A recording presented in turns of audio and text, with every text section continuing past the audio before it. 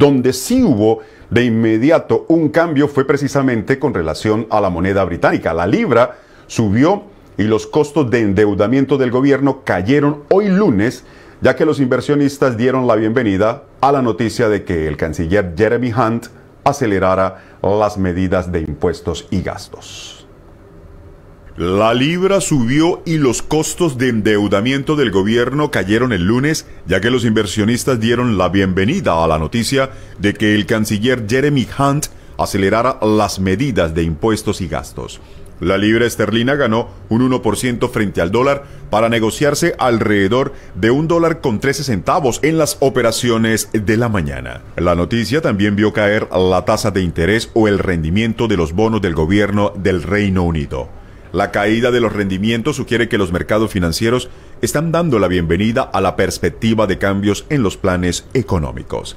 Este lunes fue la primera vez que el mercado de bonos del gobierno del Reino Unido ha reabierto desde que finalizó el viernes el programa de apoyo de emergencia del Banco de Inglaterra.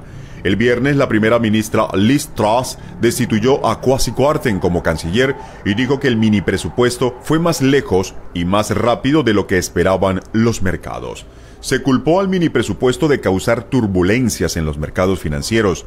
Las secuelas de los anuncios de Kwarteng el 23 de septiembre provocaron que la libra se desplomara a un mínimo histórico de un dólar con tres centavos y el costo de los préstamos del gobierno aumentara considerablemente. El canciller hará una declaración más tarde hoy presentando medidas del plan fiscal a mediano plazo que apoyarán la sostenibilidad fiscal. Así lo dijo un portavoz del Tesoro que es la Oficina de las Finanzas Públicas. Se espera que Hunt acelere el pago de miles de millones de libras en impuestos y medidas de gasto de su plan de deuda, anunciándolas 15 días antes de lo esperado es el último de una serie de cambios de sentido en las políticas anunciadas en el mini presupuesto.